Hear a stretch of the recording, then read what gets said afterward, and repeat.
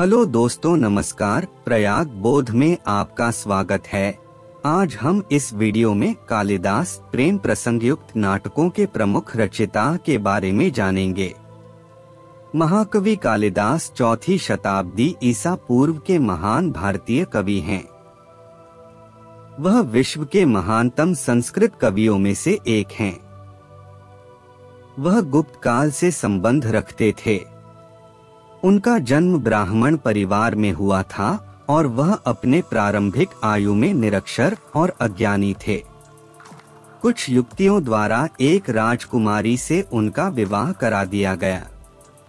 विवाह के बाद पता चला कि वे निपट मूर्ख हैं और बुद्धि की खोज में उन्होंने घर छोड़ दिया। भगवान की कृपा से वे विद्वान और कवि बन गए। उनके सभी साहित्यिक कार्य अभूतपूर्व कृतियाँ हैं। उन्होंने तीन नाटक अर्थात मालविकाग्निमित्र अभिज्ञान शाकुंतलम और विक्रमोर्वशियम लिखे थे।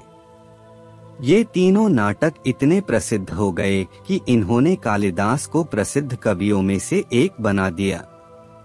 उन्होंने कुछ महाकाव्य भी लिखे हैं, जैसे रघुवंशम और कुमार संभव कालिदास की गौड़ कविताओं में से कुछ हैं ऋतु संहार और मेघदूतम। धन्यवाद।